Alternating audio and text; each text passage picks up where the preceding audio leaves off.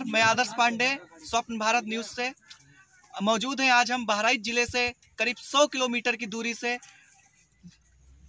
कारीकोट न्याय पंचायत के सुजौली ग्राम में। सुजौली ग्राम का एक हिस्सा है सत्ता तिलौकी गौड़ी तिलौकी गौड़ी जो कि सुजौली से करीब तीन चार किलोमीटर की दूरी पे है और इस तिलौकी गौड़ी में जाने के लिए लगभग गाँव वालों को एक किलोमीटर का जो सफ़र है, वो तय करना पड़ता है जंगल के बीच से होकर। जंगल से बीच से होने का मतलब ये है कि वहाँ बरसात में इतना कीचड़ हो जाता है कि वहाँ से निकलना ग्राम वालों का दूभर हो जाता है, जिससे आदमी तो कैसे भी निकल लेते हैं, पैदल वाले तो निकल ही लेते हैं, लेकिन बाइक वाले और फोर व्हीलर और जैसे कि आपातकालीन जो सेवाएँ देती हैं, जैसे कि एंबुलेंस तो वो नहीं निकल पाती हैं।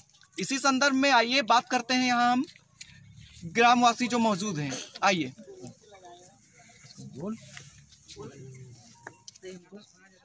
जी बताएँ क्या नाम है आपका? नीरज कुमार। जी बताइए। मैं पारसपुरवा तिरपन का निवासी हूँ। लगभग सुजौली से तीन किलोमीटर दूर पड़ता है। तो हम काफ़ी जब बरसात होती है तो काफ़ी चहला और कीचड़ हो जाता है। इस जो चहला कीचड़ की रास्ता है इस पे पहले खड़ंजा था। लगभग वही तीन, जब प्रधान हुए थे प्रधान, तब उससे पहले खड़ंजा था। लेकिन इनके प्रधानी के बाद ये खड़ंजा निकलवा लिए और जनता से हम लोगों से बोले कि इस पर नया खड़ंजा लगवाएँगे।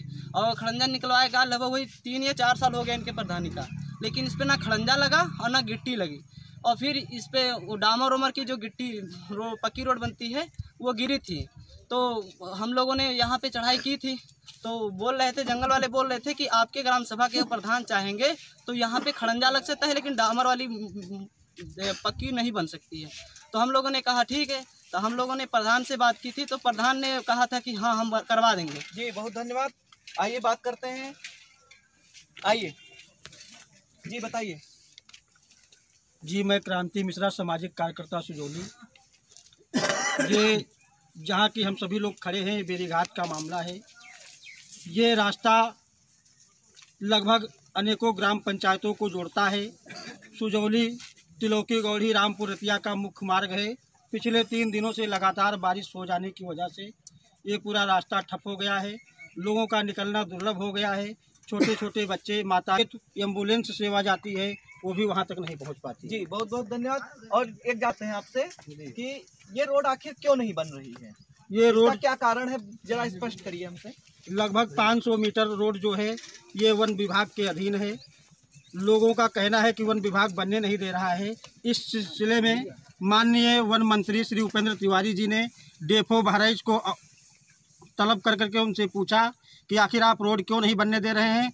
तो उन्होंने कहा यदि प्रधान अपने स्तर से खड़ंजा लगवा दे तो मुझे कोई आपत्ति नहीं। मेरा पूरा सहयोग होगा रोड बनवाने में। इस संदर्भ में क्या आपने प्रधान जी से बात की? जी मैंने प्रधान जी को अभी फ़ोन किया उनको अवगत कराया कि हम सभी लोग इकट्ठा हो रहे हैं।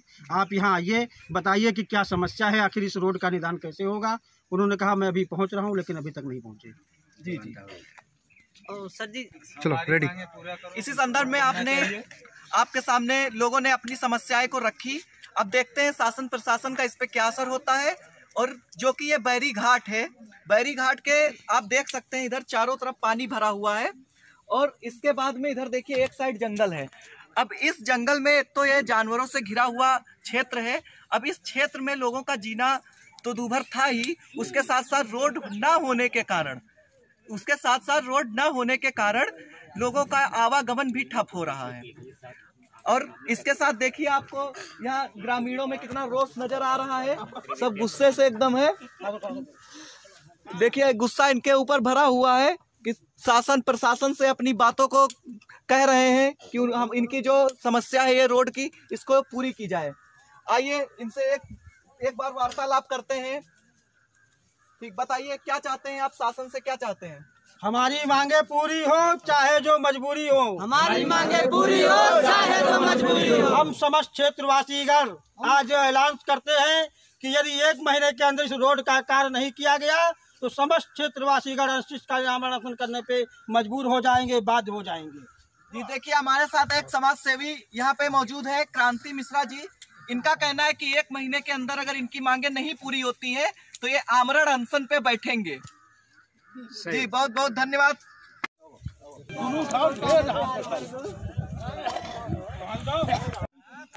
टिकट जहाँ खिंचैया खिंचैया खींच लियो।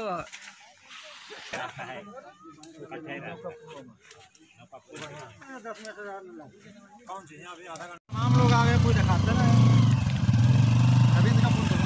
अभी आए अभी आए हम लोग बुलाए थे तो आ रहे हैं अभी आ रहे हैं फ़ोन किए जैसा पुलवा बनल बा